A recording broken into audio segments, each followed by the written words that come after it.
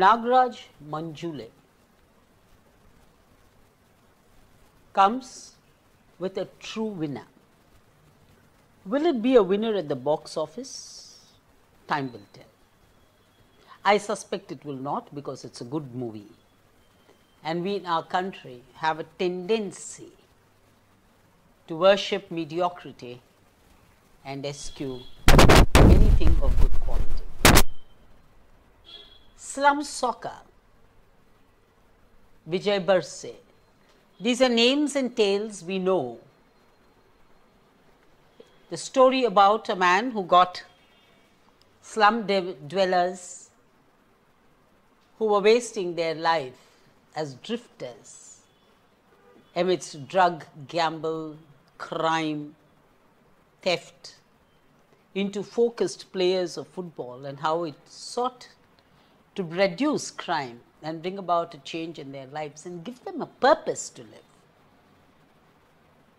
is a story we know in the context of Vijay Barse. Now we have Vijay Borade, the protagonist in the film. I wonder if he really is the protagonist in the film because I think the theme is the protagonist. The theme of people drifting without purpose and the need for purpose to get them away from the drift is what Nagraj Manjule, the Sairat filmmaker, labors and does extremely well with Jhund. It had its hiccups, the movie, to have been released a couple of years ago. It suffered COVID and then it suffered litigation and finally it made its way to the theatres, some almost unannounced. Reports at the theatres don't suggest that it's a great success as a box office film. I hope that trend will stand corrected because this film is worth seeing.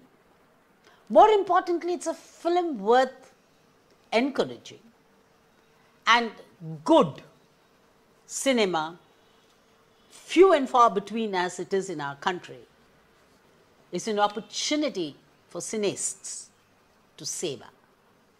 Very simple storyline of a motley group of youngsters who have nothing in common except poverty, rejection,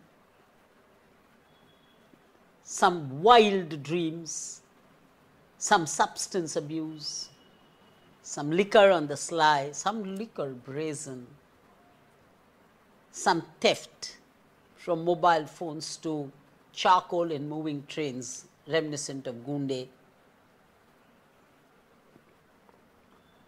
And a retiring professor from a casual look to a focus change, how he brings about this miniature change of large effect, slum soccer. Jhund is not just a Jhund, it's a team. It is this evolution that Nagraj Manjule works out beautifully. Cinematically, the film is interesting also from its grammatical view. Watch the first half of the film. It's full of fizz, full of energy, explicits, runs, rounds, thrills. And Amitabh Bachchan is in the backdrop, he is not in the front. Not since Rang De Basanti do I remember a main star in a film moving away and giving space to the characters in the script.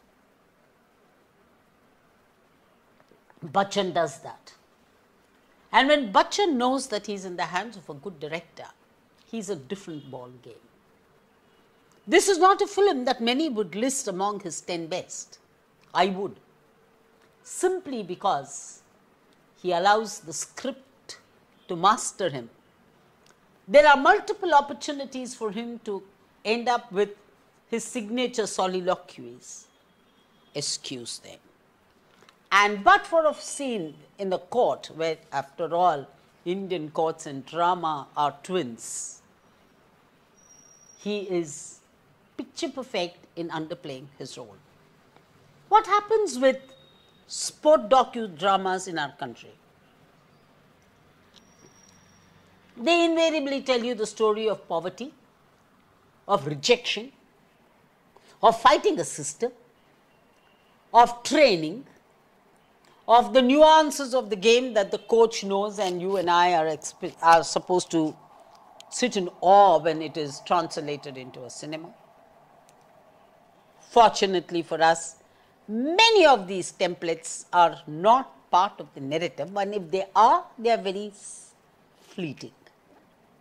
In the later part of the film is when Bachchan comes into his own, gets into the success mode of the story and how he converts one success and ensures that one swallow doesn't make a summer is the second part, more languid, more slow, but yet good. The last climax is contrived you have to get this girl into the story. The music is brought in at right times. Camera work by Sudhakar Reddy is worth mentioning. I would have thought that Vaibhav Dabhade and uh, Kutub Inamdar, the editors of the movie, have taken a longer vacation than they were entitled to three hours, give us a break. We are in the 21st century, we are in circa 2022. Nobody wants to sit for three hours and watch a movie. How long will you munch a box of popcorn? The filmmaker takes 45 to 50 minutes to establish his characters. Well, all of them are near brilliant. Ankush Gedam playing Don Masram, Priyanshu Kshatriya playing Babu, Rishabh Bodhile playing Katumal, Chirag Sharma as Chotu, each one of them leave an indelible mark in the film. Gully Boy is romance in the slum. And it's a Zoya Akhtar factor to the film. Nagraj Manjule is hard hitting, and yet not like RGV, pleasantly hard hitting. He's got all his boxes ticked appropriately. Jhund is one match that we will have to match up with. Watch it and give the director a thumbs up, not to mention all the support cast each one of them. There's this guy I name wouldn't know, who's a cheerleader for the boys playing. Watch him, what perfection, what character. For these and many other reasons, don't give up. Watch Jhund at the theatres. So long. Thank you for hearing and I'll sign off with my signatures acknowledging Abhinav and Dattu. Good day.